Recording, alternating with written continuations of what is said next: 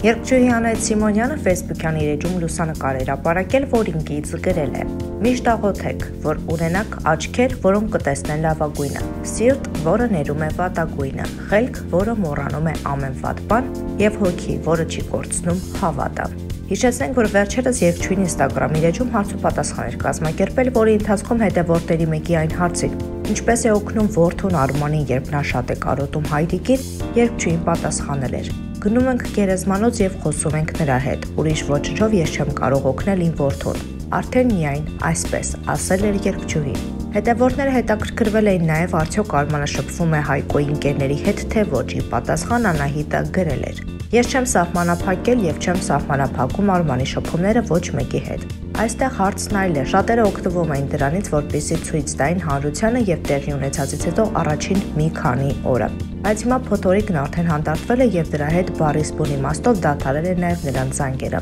Մատների վրա կարելի է հաշվել, թե նրանցից քանիսն են առհասարակ հետաքրքրվում, թե ինչպես է Արմանը։ Իսկ մենք ոչ մեկի զանգի կամ շփման կարիքը չունենք։ Թող նրանք առողջ լինեն։ Անահիտը նշել էր նաև, որ շատ էին հարցերը արդյոք իրենց որևէ մեկը օգնում է թե ոչ։ Մեզ ոչ ոք չի օգնում։ Արմանի բոլոր ծախսերը ես եմ հոգում։ Ոչ մեկ ոչ մեկին պարտք չէ։ Իմ երեխային պետք է պահեմ միայն ես, նշել էր երկչուհին։ Հիշեցնենք, որ Անահիտը նախկին ամուսնու Հայկոյի մահից հետո բավականին пассив էր սոցհարթակներում։ Ամիսներ առաջ Անահիտը գրառում արեց նշելով, որ վերադառնում է իր բնականոն կյանքին։ Ես կշարունակեմ էլ ավելի աշխատել, կզարգանամ, կշարունակեմ ընդլայնել իմ բիզնեսները հանուն երեխայիս լավ ապագայի, որովհետև նրան կերակրելու ու հագցնելու եմ, էլի ես ասել էր երկչուհին։